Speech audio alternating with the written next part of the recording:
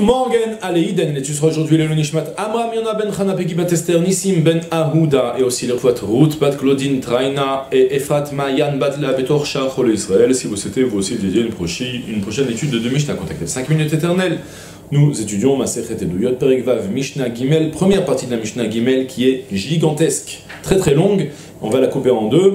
C'est le même sujet, mais c'est très bien de le couper en deux jours, comme ça, ça va nous permettre d'assimiler doucement, doucement, toutes les notions véhiculées. Ça va pas être compliqué, Bezant Hashem, vous allez voir. Kazaït, Basar, Aporesh, Mever, Menachai. Rabbi Eliezer, Metame, Rabbi Yoshua, Rabbi Nechunia, Metaharim. Deuxième marloquette. Etzem Kaseora, Aporesh, Mever, Menachai. Rabbi Nechunia, Metame, Rabbi Eliezer, Rabbi Yoshua, Metaharim. Après que les halachot ont été posés, il commence à se rentrer dedans et à se justifier. Amroulo, le Rabbi Eliezer. Maraïta, letame Kazaït, Basar, Aporesh, Mever, Menachai. אמר להם, מצינו איבר מן החי במת שלם, מה מת כזית בשר הפורש ממנו טמא, אף איבר מן החי כזית בשר הפורש ממנו יהיה טמא. אמרו לו לא, אם טימאת כזית בשר הפורש מן המת, שכן טימאת עצם כשעורה הפורש ממנו. תטמא כזית בשר הפורש מעבר מן החי, שכן טיהרת עצם כשעורה הפורש ממנו, אמרו לו לרבי נחוניה, מה ראית לטמא עצם כשעורה פורש מעבר מן החי? אמר להם, מצינו עבר מן החי כמת שלם, מה המת, מה המת עצם כשעורה פורש ממנו טמא? אף עבר מן החי עצם כשעורה פורש ממנו יהיה טמא. אמרו לו, לא. אם טימאת עצם כשעורה הפורש מן המת, שכן טימאת כזית בשר פורש ממנו. תטמא עצם כשעורה פורש מעבר מן החי, שכן תיארת כזית בשר Aporesh Mimenu. Fin de la première manche de la Mishnah. Alors déjà, j'avais un prof que on savait très bien. Quand il disait, vous inquiétez pas, ça va pas être compliqué, c'est qu'on allait souffrir. Donc je vous le dis d'avance, ça va pas être compliqué, mais vraiment pas du tout, du tout. Tout va bien se passer, Bezrat Hashem. Non, faut savoir, de manière générale, ce qui est compliqué, c'est parce qu'il nous manque les introductions pour comprendre. Si je vais vous parler de cuisine, comment est-ce qu'on fabrique un gâteau, je vais vous parler de battre des œufs, mettre de la farine, mettre du sucre, du jus d'orange, et les battre, et puis introduire doucement, doucement. Tous les mots que je vous dis, vous les connaissez. Donc ensuite, quand je parle instantanément, vous faites le lien, et vous comprenez que ce n'était pas compliqué ce que je vous ai dit. Quand on va se mettre à parler de sujets qu'on ne connaît pas, personnellement, moi, quand j'ai étudié coaching pour la première fois, on parlait là-bas de vaches et qu'on parlait, je ne savais même pas, savais même pas c'est quoi la, la différence entre une vache un mouton et un, et un agneau, pour vous donner talents. Ouais, je crois que c'est la même famille, non, c'est l'autre, c'est les chèvres. D'accord Tellement qu'on n'a pas l'habitude de les voir. Donc, chaque fois que tu me dis chèvre, il faut que j'imagine euh, celui qui a la petite barbichette. Et puis après, je commence à me souvenir. Alors, parce qu'on ne sait pas de quoi, on ne vit pas assez profondément, euh, instinctivement ce qu'on parle, alors forcément, on doit galérer que chaque fois qu'on parle, chaque fois qu'on véhicule une nouvelle notion, il va falloir euh, se creuser un petit peu la tête. Mais vous allez voir, ça va pas être compliqué. Si on, a, on comprend bien l'introduction que je vais faire tout de suite, vous allez voir toute la Mishnah, on va jongler sur les notions, sur les notions ça va bien se passer, à la fois pour aujourd'hui et même pour la suite de demain, Bezrat On va parler bien sûr de Tumat Aoel. Tumat Oel Amet, pas forcément même, l'impureté de lorsqu'on entre en contact avec un mort, qu'on entre en contact sous un abri, qu'on le touche.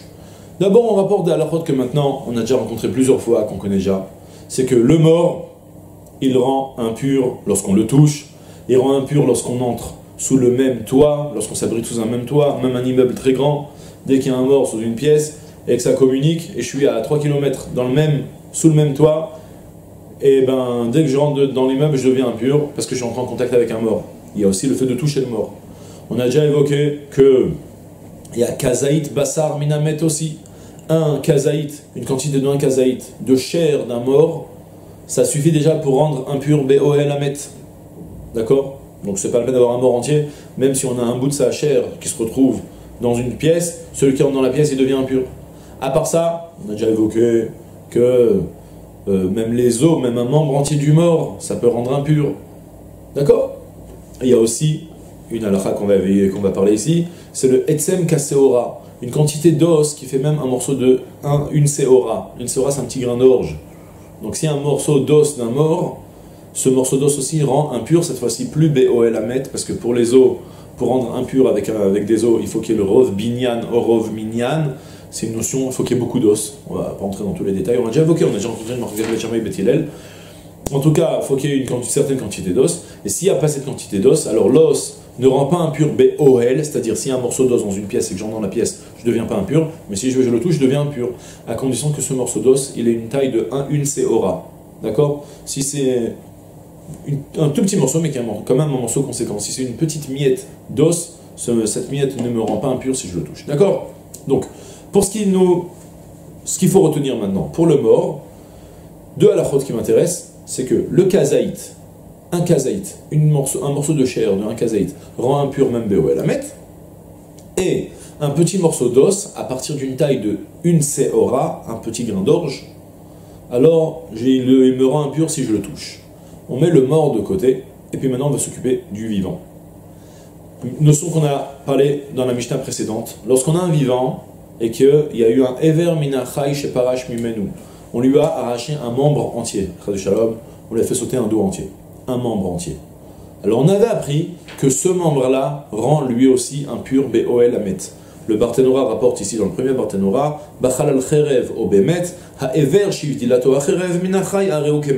On déduit ça du Pasouk, qu'un membre qui a été tranché par le glaive, même d'un être vivant, et eh ben ce morceau, ce membre-là, maintenant, va lui aussi rendre impur Betumat Met. Toumatmet, et bien sûr, est-ce que ce sera, ça rendra impur BOL ou non? Alors ça dépendra des lois, des quantités, s'il y a de la chair, s'il y a de l'os et tout ça. D'accord? Maintenant, dans la mesure où il y avait une main entière, on va prendre, on va prendre même mieux, on va prendre euh, une bonne cuisse de quelqu'un, d'un être vivant. On lui arrachait le pied, shalom. Il y avait maintenant ce pied-là qui rendait impur à mettre. Même si c'est un être vivant, comme ce qu'on a dit. La problématique de notre Mishnah va être de savoir si maintenant il va y avoir un morceau de chair de cette cuisse, un kazaït, qui va être poresh mimenu, d'accord? On va couper un, quelqu'un a coupé un bout de chair et qui va le mettre dans une pièce. Est-ce que ça va rendre impur à mettre C'est-à-dire la question de savoir, elle est très simple. On a donné des halachot de Tumot, de Touma très strictes pour le mort, en précisant que ce n'était pas la peine d'avoir un mort entier, même s'il y a un mort partiel un kazaït de chair, ou bien même un petit peu d'os si on le touche. Alors la question va être de savoir maintenant, s'il y avait un membre, un membre d'un être vivant, et que de ce membre-là, il y a eu ensuite un kazaït qui a été poresh mimenu, on a retiré un kazaït de cette, cuisse, de ce bras, peu importe, ou bien un petit bout d'os de, son, os. Est-ce que maintenant ce morceau d'os rendra impur si on le touche? D'accord? La question elle est simple. Ça veut dire on a des lois claires pour le mort, on a une loi générale qui a été dite quand c'est un membre entier qui s'est détaché d'un être vivant, la question va être de savoir, est-ce que les mêmes principes que je dis pour le mort, je vais les appliquer aussi pour le membre C'est-à-dire, autant que pour le mort, un morceau de chair qui se sépare, ça rend impur, ou un morceau d'os, ça rend impur, alors pour le, membre de l'être vivant, un morceau de chair ou bien un morceau d'os avec les mêmes quantités, est-ce que ça rendra impur ou non? Et c'est en cela qu'il va y avoir une discussion. Et avant de lire et de traduire les mots, on va d'abord poser la vie de Rabbi Yehoshua, parce que lui c'est le plus facile, c'est celui qui te dit que c'est toujours pur. Lui, selon Rabbi Yoshua, il va nous dire tout est pur. La Torah l'interdit. Le membre est pas moins. Tandis que les deux autres avis qu'on va, voir dans la Mishnah qui s'appellent Rabbi Eliezer et Rabbi Nechunia, c'est Rabbi Nechunia ben Akana, alors chacun il va dire un oui et un non, mais à l'envers. Un il va dire la chair ça rend impur, mais pas un morceau d'os. Et l'autre, il va nous dire, le morceau d'os, ça rend impur, mais pas la chair. D'accord? D'où la problématique, qu'est-ce qu'ils disent, pourquoi c'est comme ci, pourquoi c'est comme ça. Première partie de la Mishnah, elle va être facile, parce qu'on va juste aborder facilement leur raison. Et dans la deuxième partie de la Mishnah de demain, on va commencer à se poser des questions, mais pourquoi tu penses pas soit tout oui, soit tout non? Pourquoi tu fais de la moitié-moitié? D'accord? On a présenté toute la Mishnah, si vous avez compris ça, on va le refaire dans les mots, ça va être très simple. Kazaïd basar aporesh me'ever minachai. Un morceau de un kazaït de chair qui se sépare d'un Ever Minachai, d'un membre d'un être vivant qui a été séparé. On lui a sectionné le pied, et de ce, de ce pied-là, donc ce pied-là, il rend impur Béoel c'est considéré comme un mort. Est-ce que s'il y a maintenant, il y a eu un kazaït bassar chez Poresh Minachai, un morceau de chair de un qui se sépare de ce membre, est-ce que ce kazaït va lui aussi rendre impur comme un mort? Rabbi Eliezer, Metame, Rabbi Eliezer rend impur, des Rabbi Yoshua, des Rabbi Nechunia Metaharim. Et Rabbi Yoshua et Rabbi Nechunia, ils disent non, c'est pur. La Torah interdit le membre et pas de la chair, du, un peu de chair du membre qui se sépare. Le membre intégral, mais pas une partie du membre. Deuxième discussion. Etzem kaseora, un morceau d'os avec une taille de 1 seora, un grain d'orge. Poresh me ever minachai, qui s'est séparé d'un ever minachai. Donc il y avait le même, la même jambe qui était coupée par exemple. Il y avait un petit bout d'os d'une taille de 1 seora qui se sépare de lui. Est-ce que je rends impur ou pas? Alors là, regardez, ça s'inverse. Au début, c'était Rabbi, Eliezer qui disait tamé, et bien maintenant c'est Rabbi Nechunia mais tamé. Rabbi Nechunia, il va nous dire que c'est tamé, c'est devenu impur, tandis que Rabbi Eliezer Rabbi Yoshua metaharim. Et Rabbi Eliezer Rabbi Yoshua, ils rendent, ils rendent pur. Parce que là, donc l'avis de Rabbi Yoshua, il est bien clair. Rabbi Yoshua, il te dit, la Torah, elle a dit, elle inclut pour le membre qui, qui est séparé d'un être vivant, mais pas moins qu'un membre entier. Donc, d'accord? Un membre, un membre entier, mais pas moins, pas partiellement un membre, un bout de chair ou un bout d'os. Et on a Rabbi Eliezer qui te dit, un bout de chair, ça rend impur, mais un bout d'os, non. Et on a Rabbi Nechonia qui va me dire, un bout d'os, ça rend impur, mais un bout de chair, ça rend pas impur. D'accord? Ça reste pur. Donc maintenant, partie simple de la Mishnah pour le moment, demandez à chacun pourquoi tu as dit ça? Amroulo, les Rabbi Eliezer. Donc Rachamim ont posé la question à Rabbi Eliezer. basara Qu'est-ce qui t'a pris, Rabbi Eliezer, que tu penses que un kazaït de chair qui se sépare d'un membre de Verminachai, que tu le rends impur? Pour quelle raison? Amar Lahem, il leur a répondu, Rabbi Eliezer, très simple. Matsinu Verminachai kemet shalem. La Torah, elle m'inclut dans le même pasouk que un membre d'un être vivant qui se sépare a le même statut qu'un mort entier. Dans ce cas-là, je déduis l'un de l'autre. Mahamed kazaït basara aussi bien que pour un mort, lorsqu'il y a un morceau de un kazaït qui va se séparer du mort, je considère que ce kazaït aussi il a un statut comme le mort pour rendre impur. Même Bewelamet, entre parenthèses, Af Ever Minachai. Idem pour le Ever Minachai, un membre qui a été sectionné d'un être vivant, on lui a amputé un membre. Alors, Kazaïd Basar Aporesh Mimeno, si ensuite on va séparer de ce membre on va lui retirer un kazaït de chair, le volume d'une olive de chair, alors Aporesh Mimenu, kazaït de Aporesh Mimenu, qui a été séparé de lui, il est tamé, il va être impur, au même titre. Finalement, il y a le même statut pour un mort entier ou pour un membre amputé qui est un membre mort, le même statut. Alors Rami m'ont dit, mais alors deux minutes, c'était pas clair. Amroulo, l'eau. D'abord, ils n'ont pas. Ils ont répondu, non, on n'est pas d'accord avec toi. Pourquoi? Si le kazaït de chair qui, que, tu, que tu sépares d'un mort, tu le rends impur, tu sais pourquoi tu le rends impur? Parce qu'on a trouvé à part ça une autre rumra, une autre loi qui était stricte spécifiquement aux morts et pas chez le membre, pas dans le membre amputé. C'est quoi? Parce que chez le mort, même un bout d'os rend impur. Tandis que toi, t'es tamé kazaït minachai, sheken tiarta etzem kaseora aporesh mimenu. Vas-tu rendre impur un kazaït de chair d'un membre amputé de, Ouais, d'un membre amputé, donc mever minachai, que pour le membre amputé, l'os ne rend pas impur, un bout d'os ne rendra pas impur. Donc tu vois bien, tu peux pas m'apprendre un de l'autre je peux apprendre un de l'autre s'ils ont exactement le même statut. Mais si je te prouve de par ailleurs qu'il y a une différence essentielle, qu'on rend plus facilement impur dans le mort que dans le vivant, dans le membre amputé du vivant, de ce fait, tu ne pourras plus déduire l'un de l'autre.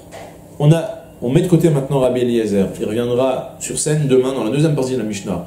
Et maintenant, Chachamim invite Rabbi Nechunia. Ils ont fait le même raisonnement, mais à l'envers. Ils ont dit Pour quelle raison as-tu rendu impur un etsem kaseora, un morceau d'os d'une taille de une seora, d'un grain d'orge, à Poresh Me'ever Minachai, qui a été retiré d'un membre amputé, d'un être vivant? À Marlaen, il leur a répondu ben, hein, pourquoi j'allais pas le rendre impur? On a trouvé dans la Torah, la Torah là dans le même pasouk, inclut qu'un membre amputé d'un être vivant a le même statut qu'un mort entier, intégral. De ce fait, je déduis l'un de l'autre. Mahamet, autant que pour le mort, lorsqu'il y a eu un morceau d'os qui va être retiré de ce mort entier, alors il va rendre impur lorsque je vais le toucher, même ce tout petit bout d'os. Alors au même titre, Af Ever Minachai, au même titre pour le membre amputé d'un être vivant, Etsem Kaseora Aporesh Mimenu Yetame, un morceau d'os d'une taille de une seora qui va être retiré de lui, je vais le rendre impur.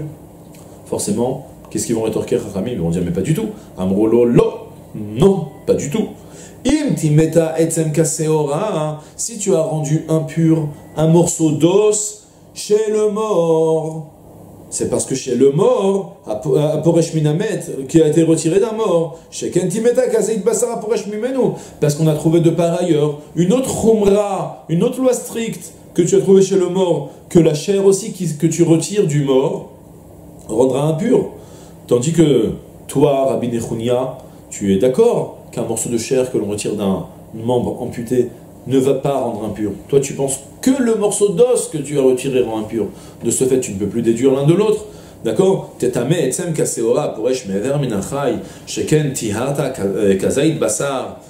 mimenu. Vas-tu te permettre de rendre impur une taille de etzem kaseora qui va être retirée d'un membre amputé?